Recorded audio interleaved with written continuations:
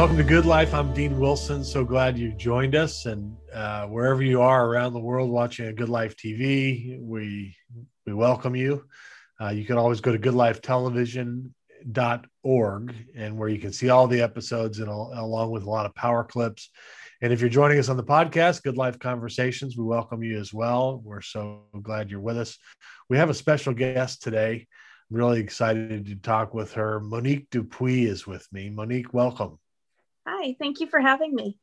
So Monique is in Winnipeg, and Monique and I have something in common, which is we're both parents of children with special needs, and we have and been in this world for many years, and um, and we want to talk a little bit about Monique's journey. And and so first of all, Monique, just tell us a little bit about kind of your you know family and background before we get into your journey with Zakari.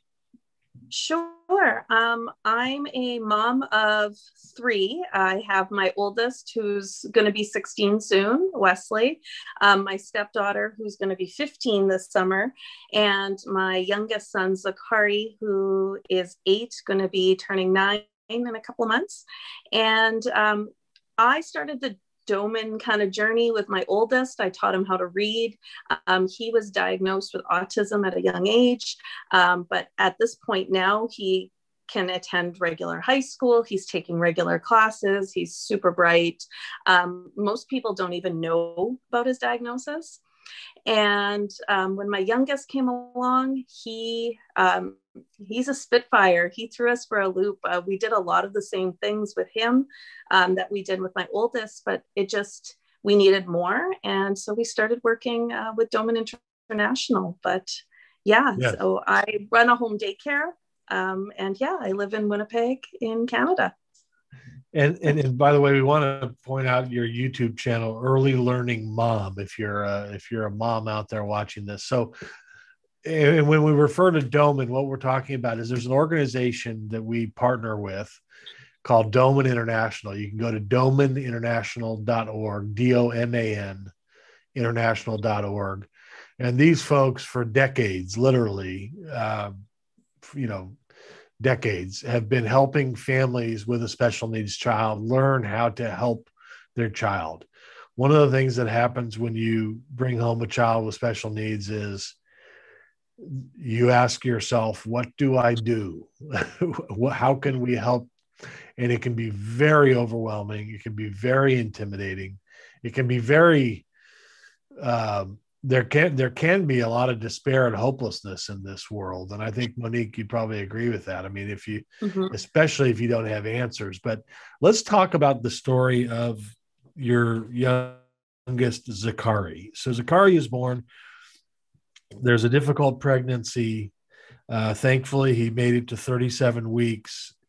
You had you had some kind of a, a misdiagnosis or mis, misleading medical advice regarding some medicine that was given to you, uh, yes. and then he ends up, you know, being delivered. He's blue. He's he's you know not in good shape. Um, but was resuscitated.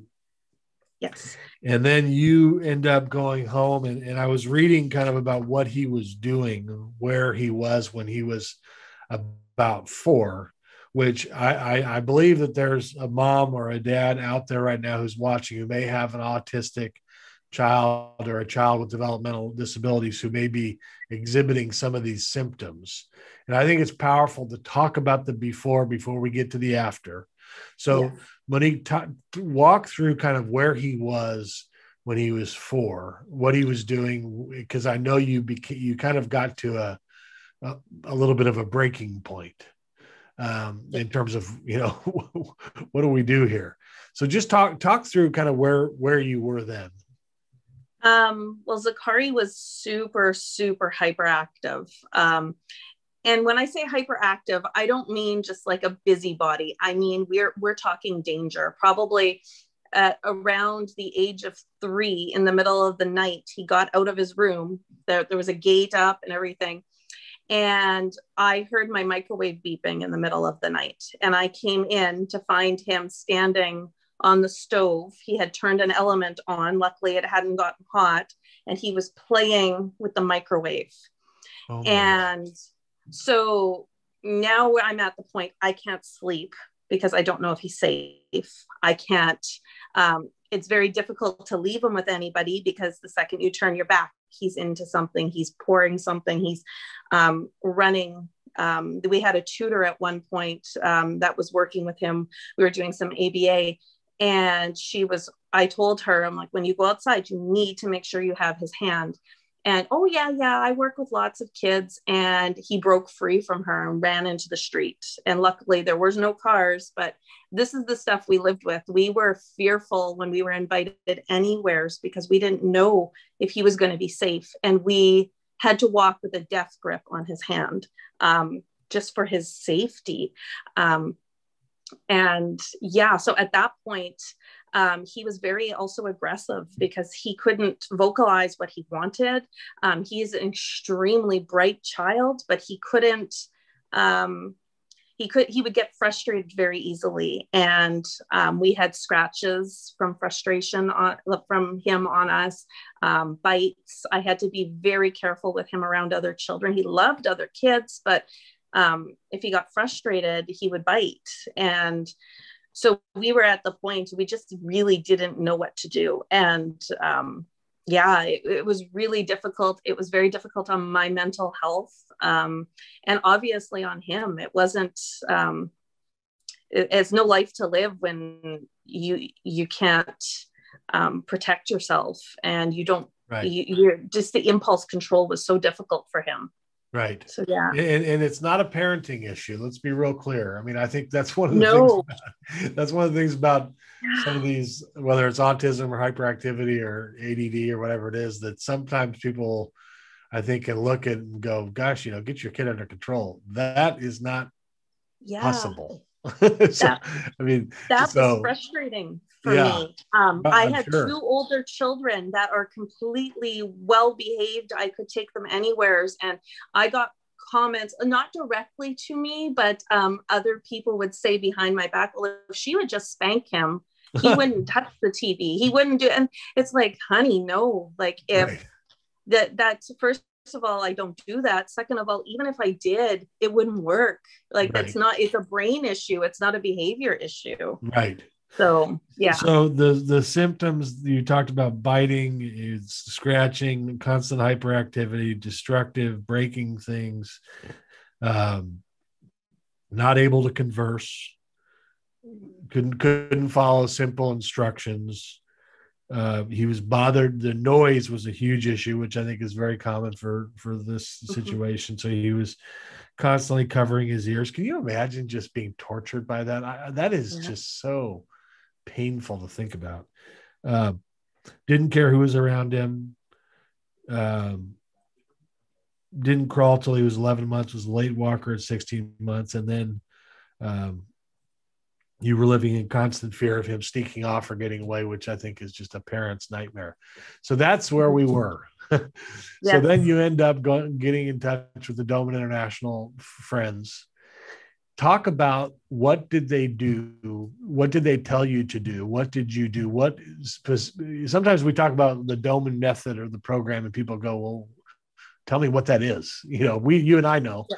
but talk through so you get home from doman what do you start doing with zakari that starts to turn this situation around um I think I think it's important to know that we start Zakari technically was on a Doman program from birth. We did do reading with him, um, so he was reading and um, you know doing all of that stuff at a very young age. So we kind of had the upper hand there. Um, but when it came to the physical, uh, it was the physical program and the respiratory program that really um, helped organize his brain the creeping, the crawling, the um, productive running, um, doing that kind of stuff.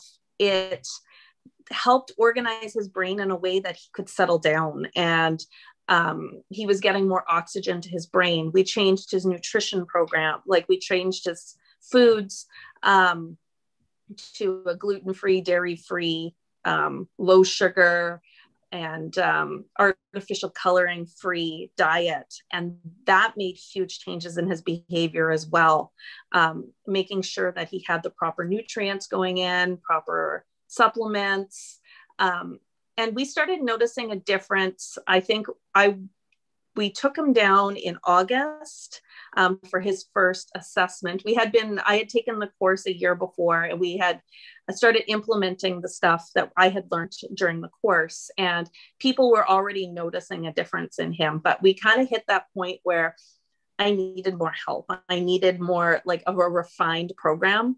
And when we came back from Philadelphia, it was just huge changes in him. He could sit down and you know read a book with me. He could um, he was sleeping better. His stomach issues were were getting better. Um, and he stopped hurting us. And he started using his words. And i remember a birthday party that we hosted for him because we had stopped hosting birthday parties for him because it was just too overwhelming. And i'm like this is supposed to be about him and he's not enjoying it and finally we were able to host a birthday party and he was able to tell me when we were opening presents that I had enough, like I need a break. And he needed to break away from the group instead of having a meltdown and freaking out and crying and hurting right. people. He he vocalized, I need like all done, I need a break.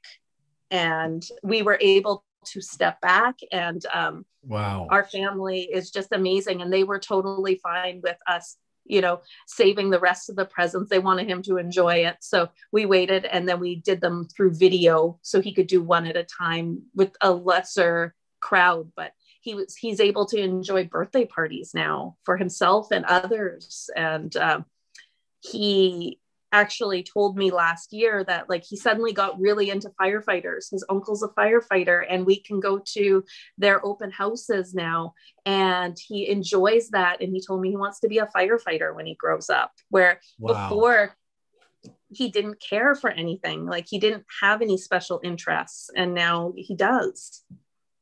Wow. Yeah. And i'm reading he, so he stopped his his clothes I think I, am yes. guessing it was his sensitivity to touch. Yeah. So, which is a brain issue. So he would take his clothes off, but yeah. he stopped taking his clothes off. Yes. Um, he, we used stopped, a program. Yeah. yeah. we did a program with that and it totally helped um, him. He can wear clothes now. I mean, he still prefers to play outside in just his like, you know, uh, basketball shorts and stuff, but we have a rule that he has to wear pants and he's cool and he's cool with that rule now. And, we have the uh, same rule in our family. Yeah. Try to keep exactly. everybody with pants on. Yeah. Um, but so he calmed down. So, so you're saying, I mean, this nutrition program, this tactile program, this breathing program, mm-hmm. combined with creeping, crawling, or brain organization, he calmed down as a person. Absolutely. Right? Absolutely um he is just a pleasure to be around. He's silly he's goofy he's but uh, he's just like a fun person to be around. Like it's it used to be very very stressful to be his mom because i was scared like as his mom i'm responsible for his well-being. And i felt like a failure because I he was constantly getting himself in danger. And right. now it's enjoyable. Like we we have re- we have routines and relationships and you know um he knows when certain people are coming over and he has certain um, activities he knows that he goes to. And it's just he's a different kid. Isn't that amazing? And he went he this kid who has ultra sensitive hearing ends up going to a Winnipeg Jets hockey game with 15,000 screaming people and he was okay. He was fine. He had his ear defenders on, but he was he was just screaming with them. Like he was having a blast. Oh. Like we won tickets and uh it was amazing. He loves his Jets and um it was nice for him to have the experience to, you know, go sit down and actually watch a real game instead of just on TV. Right. And so now, after, so you ended up having a second appointment. And so now he goes across the monkey bars. He's able to go across the monkey bars. Yep. He reads whole, whole homemade homemade books in his head and answers comprehension questions. says thank you without being prompted. Um, and he's developed stronger relationships with his family and his friends you said he's excited when his grandparents come over his cousins or so that's a change because now it's almost like with these symptoms reduced you have a person and you get yeah. to meet i mean is that kind of what's happened for you? Yes. We get to see who he is and um, just his yeah his personality his favorite books his favorite like what he likes to do his activities um yeah it's just amazing. Yeah this this whole world and I, I, wanted you to comment on this just because i think you and i have had this, the same experience. And before we came on today we were both talking about how we can't imagine our life without doman just because yes. we were drowning. And then it's like somebody throws you a life raft. But but to the parent who's out there who and, and i know a parent like this actually. Um, i know a parent who's autistic child literally takes his clothes off and runs around the neighborhood. One time ran into the naked. neighbor's house naked you know? Wow. And you're going what do we do? And, and and and i think so often the parents whether it's sensitive tactile issues the hearing thing the, just the behavioral thing in general, we're all trying to treat the symptoms when mm-hmm. we need to treat it at the brain level. I mean, I think that's the that's the probably if if you're gonna like cut the Doman method, the Doman work over decades down kind of into one succinct description, it would be we got to treat the brain. You want to you want to get to the tactile. Why is he taking his clothes off? Treat the brain. You want to figure out why is that? You know, how do we deal with this hearing? He's he's going crazy. He can't. Is so sensitive. You got to treat the brain. And then even the nutrition stuff. You mentioned his stomach issues. I don't know what that was. Mm-hmm. We had constant respiratory issues. We changed the diet, and all of a sudden they're gone. Yeah. I mean, it, which is incredible. So anyway, talk talk about it. Just we only have a few minutes left, but talk about treating the brain and how what kind of revelation that has been for you, and in, in, in terms of your understanding your son.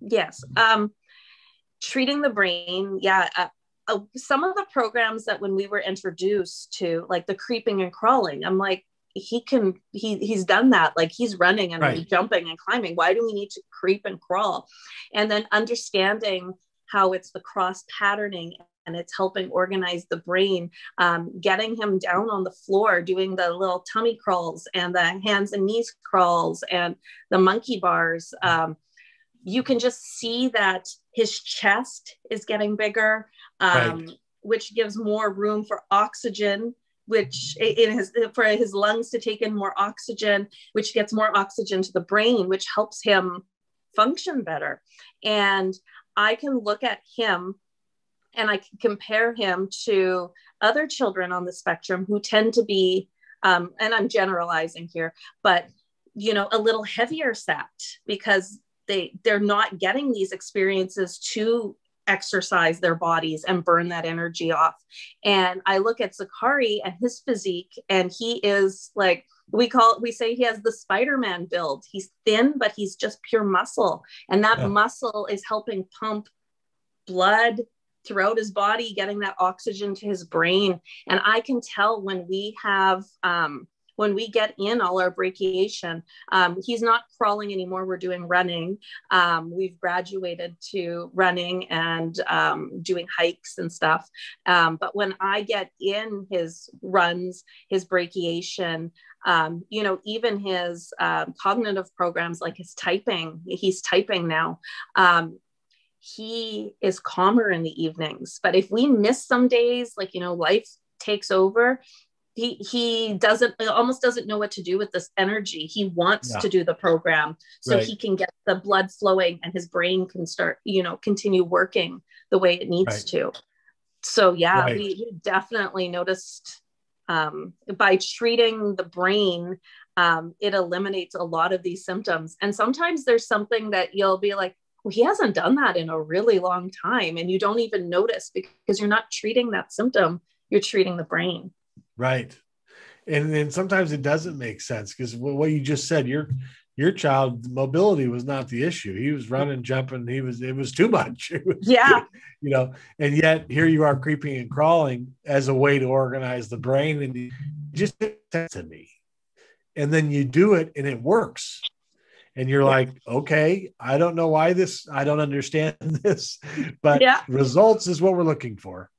So if yeah. my child improves i mean ella claire our daughter you know monique she is so happy doing the program just like what you said about zakari it, it is like yep. just the right thing. She's she was up this morning at six o'clock. She's up she calls she says dad i'm up and at him and she was ready to do the ah. program. Last night after a full day of doing the program, and my wife is just a saint, you know, with this, as are you. but after a full day doing the program, she's always saying things like, I'm just so proud of myself and all my accomplishments, you know. And and I realized this is not just it's not just about the end result. And okay, we were here and now we're there. It's mm-hmm. this journey. It's about the journey, you know, that every day there can be more sense of fulfillment and accomplishment and because i'm doing this. Does that make sense to you? Absolutely. You can see the pride um, when like our most recent um, victory has been his typing. And before if you presented him a keyboard he'd just be banging on it pulling the keys off and now he sits there and he's like okay what word what word mom? And like he's you can see him like just squirming like okay tell me. And he's typing couplets and he's just sitting there like so focused and determined. And even six months ago that would not have been possible. And afterwards he's just so proud of it that right. he he he did it. And you know dad will come home and i'll be like hey do you want to show dad your typing? And he's like yeah i can spell daddy. And then he shows him i can spell frog and he shows them and oh, it's it's, so it's just beautiful. so amazing and this is the kid that they said oh i'm sorry he has a low iq we don't really know what he's going to be able to do and it's like dude he reads better than you and he's three like how can he have right. a low iq right like right. um he just doesn't want to participate in your little games that you're doing right now because you don't know how to evaluate a child properly um, right Right. But then we go to Doman International and they're like okay you realize how high of a reading comprehension this kid has and he's they're pointing out all his strengths and right. so while they're working on the weaknesses to help bring that up and that's our end goal they don't just ignore his strength that he's a brilliant reader right. and um, they they keep feeding that yes. and so i think that's what's great is they they don't only look at the the where most systems look at what is your kid defective in. And well we're not going to work on the stuff he's good at because he's already good at that. And it's like well what about his self-esteem? Right. what about you know his passions? Like right. so that's what i really appreciate about doman international is they they work with his strengths and use that to build up his weaknesses so if you have a special needs child, we encourage you to go to domaninternational.org, or if you know somebody with a special needs child, autism, Down syndrome, cerebral palsy, whatever it might be, Doman, D-O-M-A-N, international.org. We highly encourage you to go there. It's helped my family. It's helped Monique's family. And, and I was reading this just to wrap it up, Monique. We just have a couple minutes, but um, you said here the most important thing is that he has hopes and dreams for for his future he, he told you like you said he, he wants to be a firefighter when he grows up. And then you you talk about how now he tells you i love you before he goes to bed. I feel like with some of these kids and i think it's been true for us and i think it sounds like it's true for you that once you peel off the layers of these symptoms when the symptoms calm down or go away we end up with the child the person. It's hard to get to that person until you get the symptoms dealt with by treating the brain. Does that make sense? Absolutely. And in, in both of our cases, because of Doman, because of these programs, we've gotten to peel back the layers of symptoms and gotten to this genius person yeah. that is Zakari, that is Ella Claire. So it's so encouraging to talk to you. I think people who are watching this are going to be really encouraged. Um, and I hope they they go to Doman International. But thank you for coming on. Thank you for having me and letting me share our story. It's it's really important to me that people know what happened with Zakari yes. so that we can have more Zakaris. Yes. Um, as opposed to, you know, frustrated children that and frustrated parents. Right. Yeah. Beautiful. Beautiful. Well, thank you. Congratulations on what you're doing. I think you have mm-hmm. treasures in heaven waiting for you, just like my wife. So, congrats and thanks for coming on. Thank you for having me. We'll see you next time.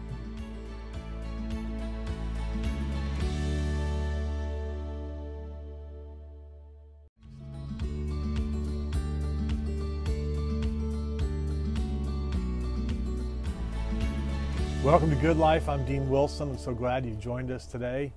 Uh, you can always find all the interviews at goodlifetelevision.org. Uh, there's the full form interviews from this last year. There's about 70 of them. Um, and then plus a bunch of what we call power clips, where we kind of take some of the gold, some of the great stories, some of the great moments from those interviews, and we, we turn them into power clips. So we'd love to have you visit us there. And of course, we're all over social media as well. But we, we're so grateful uh, to have you with us. And I'm so glad to welcome my guest today. Kirsten Moore is with me. Welcome, Kirsten. Thank you. Good to be here. Um, Kirsten is the is the head basketball coach and associate athletic director at Westmont College here in Santa Barbara, California, where we are. Um, and Kirsten has an amazing story. Uh, I'll start with the basketball part, but in 15 years at Westmont, she has a 744 uh, winning percentage, won the first national championship in Westmont College history on the women's uh, basketball program um, and a lot of accolades uh, along the way. She played college basketball at, at Oregon four times in the NCAA tournament, and it's an amazing journey she's been on. Uh, most of the incredible part off the basketball court is what I'm going to talk about, but but let's start with sports and basketball. Kind of, where'd you grow up, and were you always into sports? Was that kind of always something you were? Yeah. Doing? Um, well, I grew up in the San Francisco Bay Area um, and uh, in Marin County, just over the Golden Gate Bridge from San Francisco. And uh, grew up in a real blue collar family, though, even though sometimes you say you're from Marin and people have this idea like, you're you know, sipping wine. Or, right, exactly. Right. or, uh, you know, think of it maybe like a Montecito type. Right, but, right. but my parents were super blue collar. My dad was a union electrician. My mom was an elementary school teacher. Um, they had both grown, grown up in San Francisco in the city itself and just had uh, timed it right to get to Marin before it kind of uh, became as affluent an area as it is. Yeah. And um, they were able to raise four kids there. I'm the young, uh, the second of of the four, boy, girl, boy, girl, and. Um, ever since I can remember, I have just had an affinity for sports. So my parents tell me my first word was ball.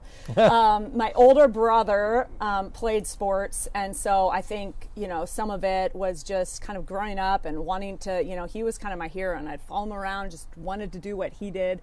And uh, he played sports, and he was just he he's always just been the kindest big brother, looking out for his sister, for me, and so he was always good to let me tag along and play with the boys all growing up. And so um, my my parents also coached both my dad and then my mom actually ended up getting into coaching as well. Really? Um, just you know like CYO youth basketball yeah. and uh, but my dad was little league baseball coach and um, he drafted every girl in the league. Only three girls played Little League baseball, and uh, he drafted every girl on his team, and we won the championship. Really? So, yeah, but uh, so just coaching parents, and then, you know, my brother, and I think it's just in me too. I've just, I developed just a love of, of all sports, but really, um, started honing in on basketball when I went to Lavin basketball camps actually. Ah. And so what's funny, I know you've had John Moore on the Yeah, show and yeah. it's kind of full circle that I ended up at Westmont. Um, Wow. Because, you know, Rachel Lavin running the summer camps and I used to go work out with her dad Cap and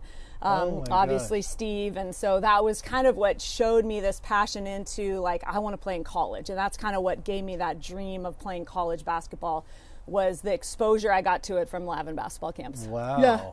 Wow. Yeah. I tried coaching a little bit, YMCA basketball in Dallas, and it was vicious. Oh. I barely survived it. Yeah. It was it was a whole. that's another program.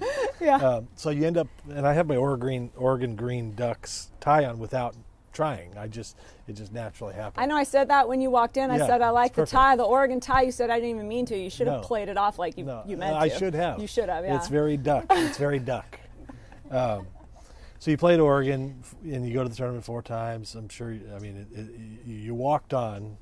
You ended up becoming the captain um, and having an amazing experience. Talk about kind of those years. Yeah, well, I I didn't re- get recruited out of high school. I had this dream. I really wanted to play in the Pac-10, and um, but uh, didn't really have the opportunity to get seen.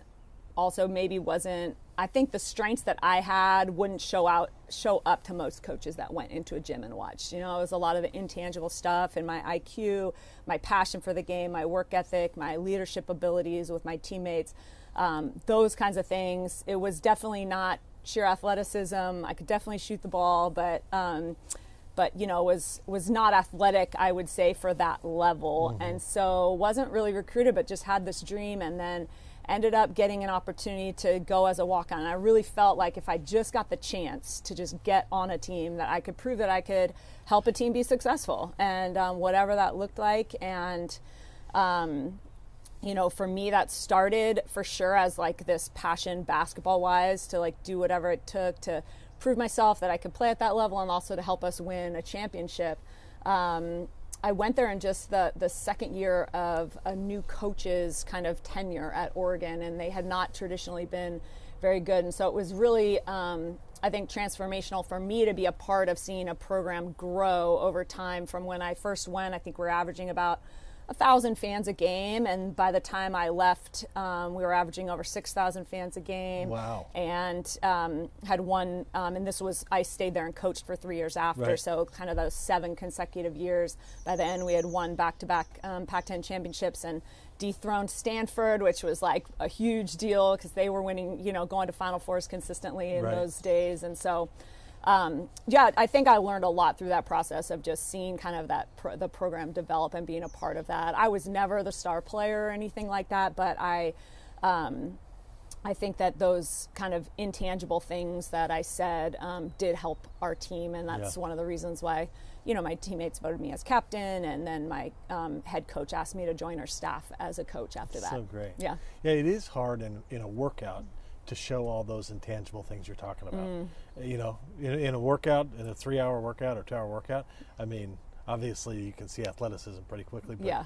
all the other stuff, Yeah. I mean, that is kind of a tricky thing. Yeah, and I mean, in recruiting, most of the time, like you're not even getting to work out. Like they're not. I mean, they would probably see the work rate that I would practice at would be probably different than most. But um, when you're just going to a club tournament and you know you're just looking for like the player that stands out as the best player on that team or the flashiest player, Right. uh, that was that was not ever me. That's that's for sure. So.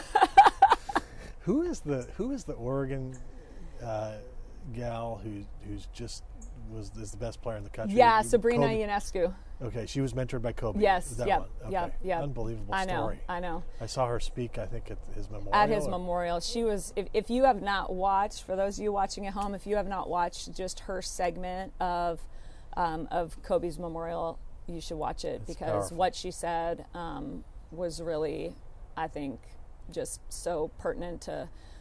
Um, yeah, just where I think Kobe was passionate about um, growing and developing in the women's game, Yeah. and um, yeah, and just needing advocates. And I think that was one of the hardest parts 2020 has been crazy. And when I think about how crazy 2020 has been, to me, it started with Kobe, Right, right? And right. Uh, and I think one of the hardest parts for those of us in the women's basketball community was feeling like he was probably the foremost advocate for the women's Right. game that was alive today, Right. and um, you know, and not having He him was here just getting started Exactly. with Gianna. I mean, we Yeah. would. So my boys play at Mamba, Okay. and so we were down there Yeah. two out of three weekends for Yeah. a while, and we'd see him Yeah. coaching w- with Gianna, who was unbelievable. Yeah. But it was such a great story that w- it felt like we were in the first chapter. It, it, I, exactly. which and is so mm-hmm. the, that's the hard part, and that's kind of been lost in this year because you know everything, else else. Yeah. Yeah.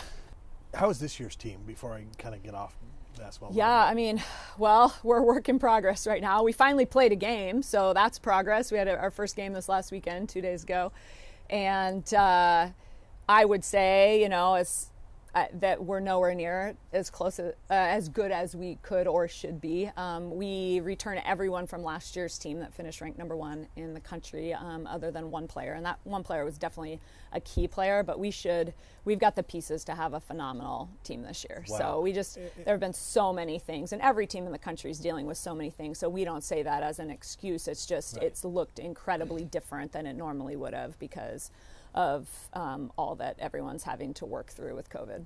And, but and will this season, other than not having fans, um, and there's all the protocols, but is there going to be a full season? No. no, Not even close. Uh, like yeah. 15 games. So we've just had our first game on what was that December fifth, um, Yeah. Saturday. Yeah. So um, I, we maybe will have three. I've, or hopefully have two more games this week, also against Division ones. At Westmont, we have um, we've taken a, a, a pretty hard stance, but I think important stance that we won't play teams that aren't following a testing protocol that the state of California has set forth. And there's a number of our teams in our conference who are not doing that. So we will not really? play a normal conference season. We'll play a few of the teams who are also following a testing protocol, but um, we feel like it's really important to protect the safety of our student athletes as well as um, follow the guidelines from the state and trying to do the right thing. Um, Yeah. So right now, currently, the only non-conference games I have on our schedule are against Division One teams.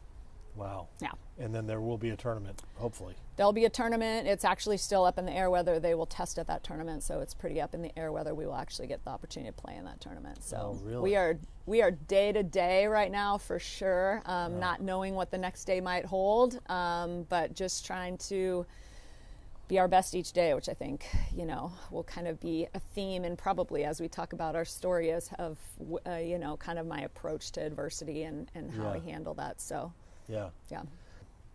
So you, you, you coached for three years in Oregon. You end up at Cal Berkeley as an assistant. Mm-hmm.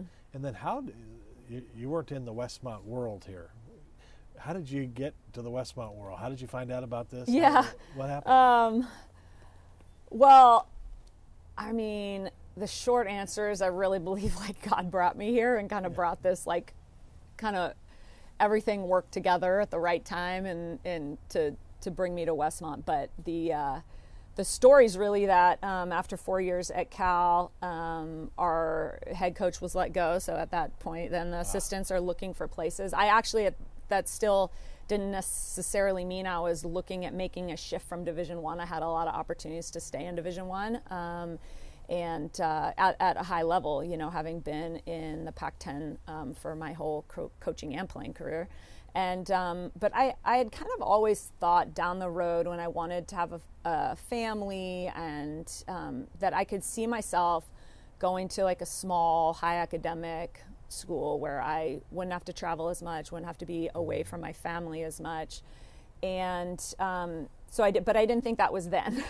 you know, I was still really young, kind of just, you know, kind of moving up and doing well in the career. But then I started getting pursued by actually other teams in the conference um, to be their head coach, and so.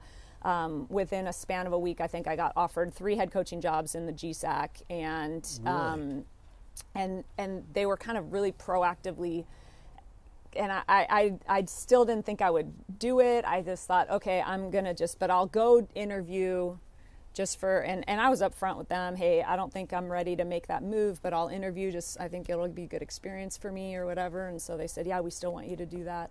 And so while I was at one of these opposing schools, um, I, uh, I looked up the morning I was going. Uh, I looked up the job board to see what other new Division One postings there were.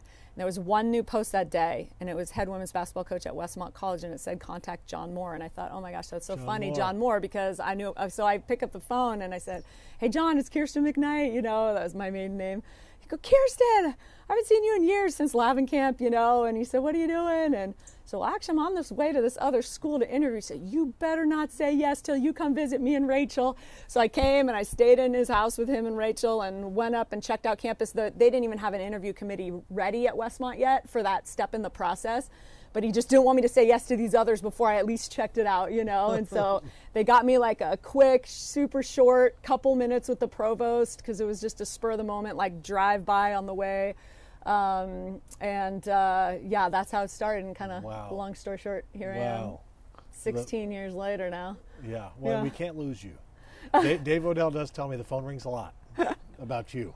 So you know, stick around if you can. I've. I've continued to choose Westmont. It's been, a, it's been an amazing place. So So let's let's talk about what it, May 9th, 2012. So you you your husband Alex, who you met at Westmont, um, it was dealing with Crohn's disease, and he had a surgery. Mm-hmm. And then, so my understanding is he has the surgery.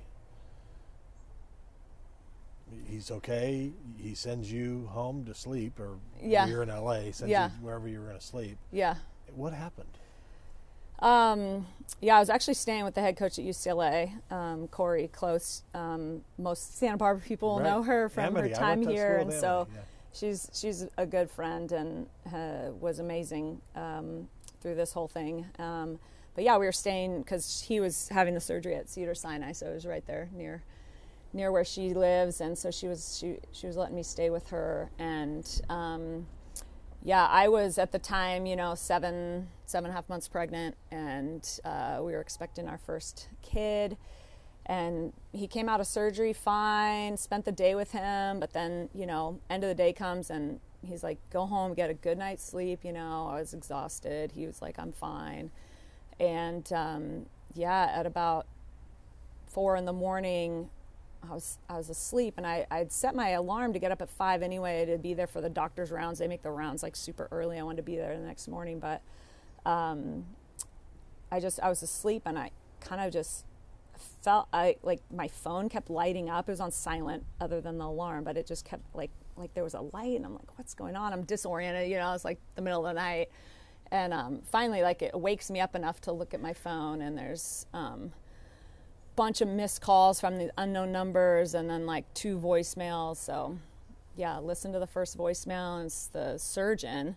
He says, you know, Kirsten, it's Dr. Fleschner, and um, I need you to call me right away. Uh, your husband's actually he's in trouble. He's actually coding right now, and I just I just need you to call me, and then like hang up. So that's the like first message, and then and then I so I'm just going like, oh my gosh, what's the second message, you know? And I listen to the second message, and um, it's the same surgeon. He just says, Kirsten, I'm sorry, but um, I can't believe I'm making this call because I've actually not had to do this after a surgery like this before, but um, your husband didn't make it. So um, it, he had had a pulmonary embolism, um, a blood clot. We don't really know still from where. Uh, in the autopsy afterwards, they found a lot of blood clots in his body, um, whether it was from the medication or Crohn's disease. They don't really know, but um, but yeah, he'd had a and just just like that, I was all of a sudden a widow and um, you know seven and a half months pregnant on the floor of Cori's bedroom, just trying to breathe and uh, kind of in definitely in shock. Um, yeah, nothing really can prepare you for a moment like that, you know. I mean, you had there was no. This wasn't on the radar at all. No, no, no, no. Like I didn't. He, we had been doing long distance marriage for like four years, and like we didn't even have our. I didn't have his passwords to his bank accounts as we're still in Missouri, and like I mean, it was like not on the radar at all. Yeah. So you come home to back to Santa Barbara, and what are I mean, what are these or what are the early days like for experiencing that kind of loss? How do you, I mean, how do you how'd you get through? Yeah. Um, well, I can tell you, like, the only way I've been able to like describe it to people, like, when that phone, like, I'm when I'm listening to those voicemails, is it just it felt like darkness just went like, Yeah. like, and just got like dark and like quiet and heavy, like, just you're just trying to breathe, like, literally thinking, like, breathe. I'm on the I'm on the floor and I'm like beating my fist on the in the mat. There was like a mattress on the floor, and I'm just like, "There's no way, there's no way." and then I just kept saying like I gotta just breathe and take care of the baby. I gotta breathe and take care of the baby, you know, like, and um, but you know it wasn't long. You know, Cori was there and she was amazing um, by my side, but she immediately called um, my best friends from here who got in a car. You know, this is you know 4:30 in the morning and drove down to LA. And before I knew it, like a bunch of people from our you know our AD and other coaches um, and kinesiology fac- uh, faculty are there with me, you know, in Cori's house and spent the whole day there as I was trying to navigate all the decisions that have to be made in a moment like that. And, um, uh, you know, the, before that, you know, there's nothing you can say, but just the fact that they were just there, you know, Right. like, and I just wasn't by myself. And before I, um, before they left, it was kind of like the end of the day, and um, before they drove left to drive back up to Santa Barbara, they, you know, just said, "Hey, can we pray for you?" And so, kind of everybody in the living room got around, and um, I don't honestly remember anything that they prayed, but while they were praying, I just f- felt kind of like this phrase like over and over in my head and my heart was saying like like God was trying to tell me like I was good yesterday and I'm still good today. Like I was good yesterday and I'm still good today. And I think that like step by step I've tried to just um, trust in my faith of the promises that God can work all things for good. Mm-hmm. And so many times people take that kind of cliche biblical quote out of context like oh well if you believe in God good things are going to happen. And I don't think mm-hmm. that's I don't think that's actually like mm-hmm. in scripture, but there is a promise that God can work all things, even the bad things, even the horrific, awful things, um, can work those together for good. And I think the ways that I've seen that happen in the eight years since, um, I don't think I'll ever get to a point where I say, oh yeah, I'd choose that. Sometimes you hear, you know, people say like, oh, I'm so glad I got cancer because here's what I learned. Like, I mean, just being honest, like, I don't think I'm going to get to the point where I say I'm glad that that happened because of this. At the same time, I can see a lot of good that has been worked through the situation, including the way that this community in Santa Barbara on so many different levels, you know, like whether it was, you know, my my team at the time, my coaching staff, like kind of that inner circle, my, you know, my friends, my church, the Westmont community, the Santa Barbara community as a whole. Um, it was really extraordinary the way that people came around me and my daughter. And when I share my story and I talk about my story, honestly, like that's when I get the most choked up um, and still have the most emotion is just thinking about the gratitude I have for the people that walked with me through the darkness. I told you it just felt dark.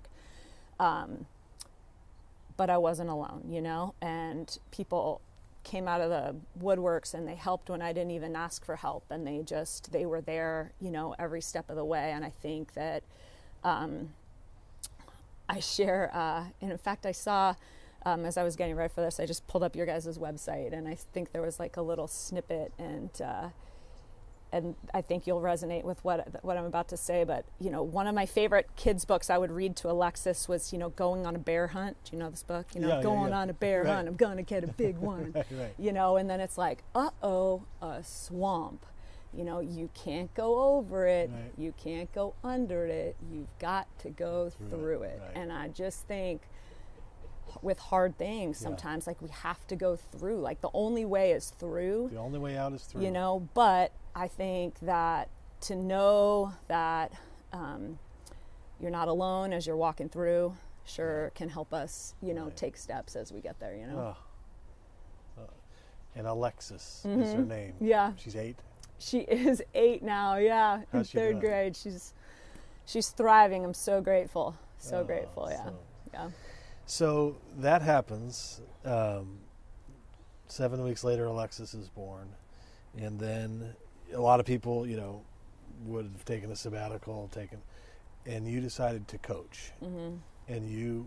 Um, the end of the story is you win a national championship, and at one point, I mean, I, I've, th- th- there's an article, by the way, if you're watching this, there's an article by Bill Plaschke of the Los Angeles Times, which is incredible. Google it.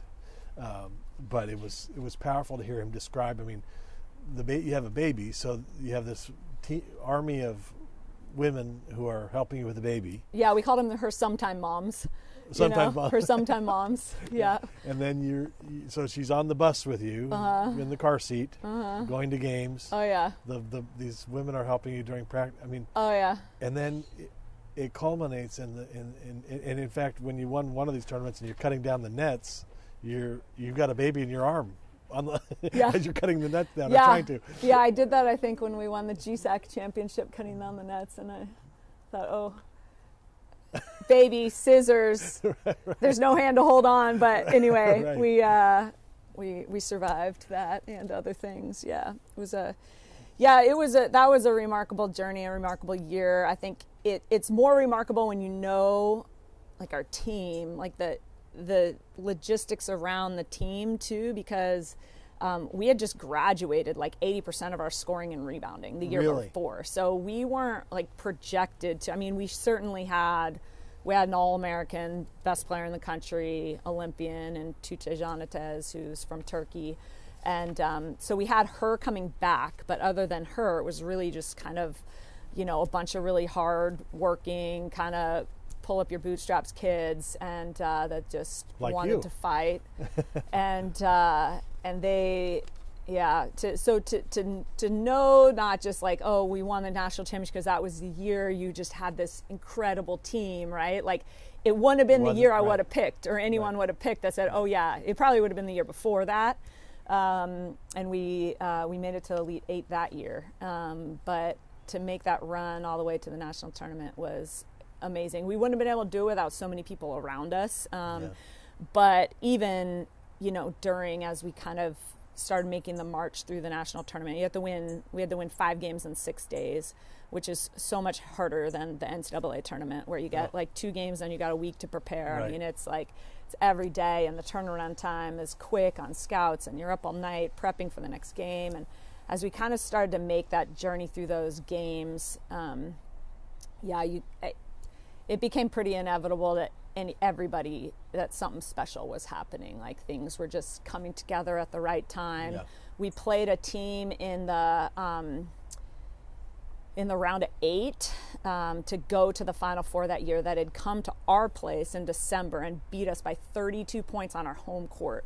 And we played them again in the national tournament that same year and ended up beating them wow to go to the final four. Then in the final four, we played the undefeated number one overall ranked team. And that was the only game of the whole tournament we won by double digits. Every other game was like one or two possessions, but then the team we should have, you know, that was the heaviest favored, we beat we beat by double digits, you know. And uh, in fact, my my uh, one of my assistant coaches now, Jill Heckman, who was Wilbur at the time, she was a captain on our team that year when we won the national championship. You know, she she banked in a three in that game against Really? the number one team in the final four, and I just thought we're supposed to win this game. You know, like something is going Right. right, everything is going right for Right. us. You That know, gives me chills yeah, uh, yeah bill plaschke actually said this is beyond a cinderella story Mm-hmm. cinderella doesn't do you know in, in that article he says you know you want march madness this whole season has pretty much been insane said westmont guard larissa hensley. You're looking for one shining moment? There have been so many tears this year westmont forward kelsey sampson said but there's also been so much joy. You know i read again you know going back to alex you got back to his office and you're going through his office preparing for his memorial service and you notice two post-it notes that are stuck to the wall that you'd never seen before one read encourage the oppressed defend the cause of the fatherless and plead the case of the widow and the other one be strong and courageous and do the work do not be afraid or discouraged for the lord god my god is with you what did that mean to you yeah. I mean, it was crazy because his office is in the same building as mine. He was a kinesiology professor and athletics kines. We're we're in one building. I can see his office. I was in there like every day, and uh, he was a cyclist, a competitive cyclist, and so he had some um, posters up um, of some cycling posters, and um, yeah, I went in there that day to try to find this picture for the memorial service, and I see these post-its that I'd never seen there before. And again, it's it's kind of weird, right? Because it's not like we're expecting. He wasn't expect. Right. We weren't expecting anything to happen. We weren't thinking of this surgery as potentially life-threatening at all.